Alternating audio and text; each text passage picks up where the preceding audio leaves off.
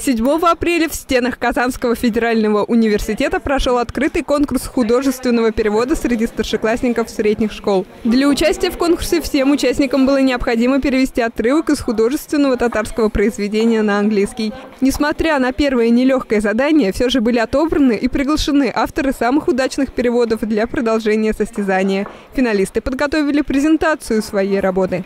Наши талантливые ученики Э, обращаются к культуре и языку своему родному тоже. И они понимают, что знание своего родного языка и родной культуры ни в коем случае не мешает. Интерес к переводу был однозначно огромный. Перед членами жюри стоит нелегкая задача – выявить талантливых учащихся, ведь стать профессиональным переводчиком мечтает каждый. Мы взяли современных авторов – татарского языка.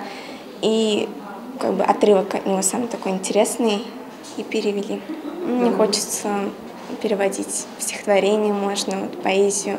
Это же очень интересно и более красноречиво. Занимаясь языками уже достаточно большое количество времени, школьники не питают иллюзий и полностью осознают всю сложность перевода с татарского языка на английский. Но трудные задачи должны быть решены, отмечают участники. Ведь татарские произведения могут стать достоянием мировой художественной литературы. Аделя Мухаммедшина, Ленар Давлетьяров, Univer News.